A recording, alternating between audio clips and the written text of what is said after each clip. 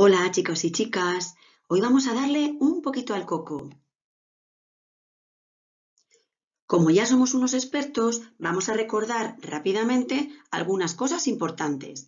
Recordar tener lápiz, hoja y una goma para borrar. Sentarnos en una postura correcta. Recordar que así no.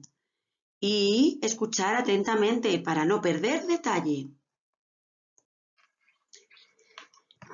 El profesor va a leer la pregunta y la repetirá tres veces. Tú tendrás que escuchar atentamente. Cuando sepas el resultado y lo hayas calculado en tu cabeza, lo escribirás en la hoja donde poner la respuesta. Y en la hoja también tienes un rincón donde puedes hacer dibujos y operaciones que te ayuden a averiguar la respuesta.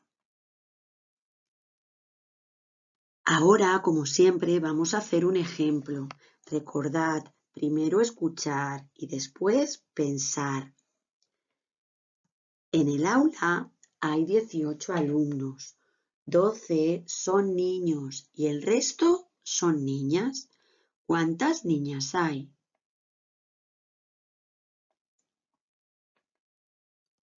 Repito, en el aula hay 18 alumnos, 12 son niños y el resto niñas. ¿Cuántas niñas hay?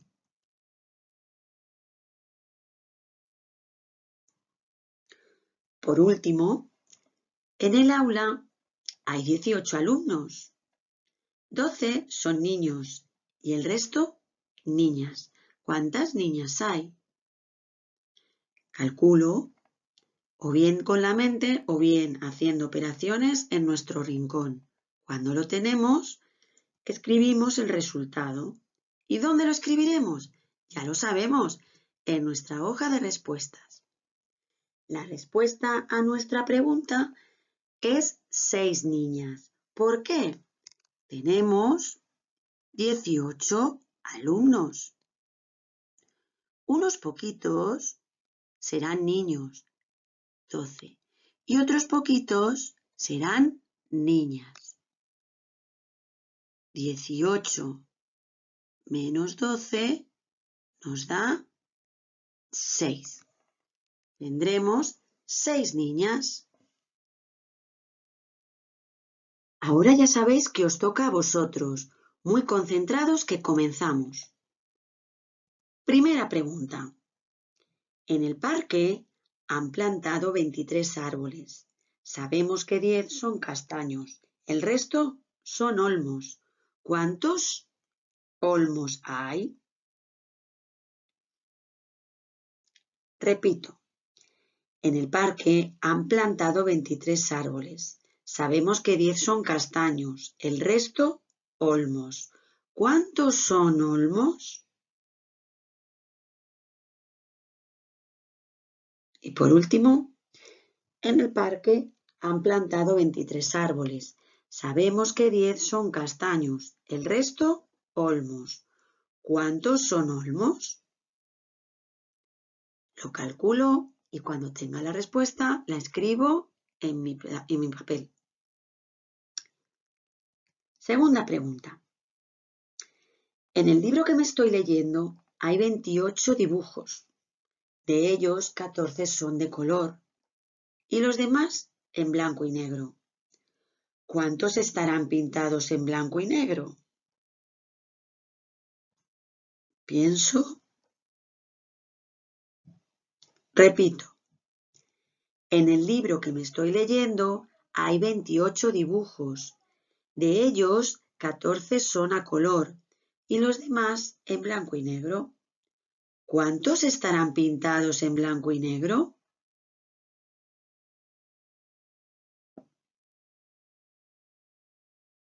Y por último, en el libro que me estoy leyendo hay 28 dibujos. De ellos, 14 son a color y los demás en blanco y negro. ¿Cuántos estarán pintados en blanco y negro? Tercera pregunta. ¿Cuántas bolas rojas tendré en la bolsa si en total tengo 17? De ellas 10 son negras y el resto rojas. Repito, ¿cuántas bolas rojas tendré en la bolsa si en total tengo 17? De ellas 10 son negras y el resto rojas?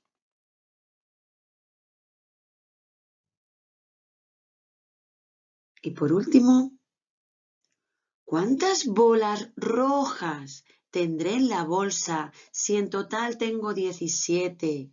De ellas 10 son negras y el resto rojas. Lo pienso y escribo la respuesta.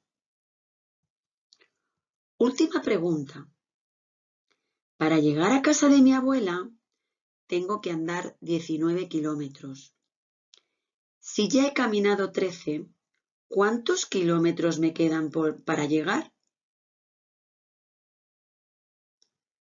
Repito, para llegar a casa de mi abuela tengo que andar 19 kilómetros.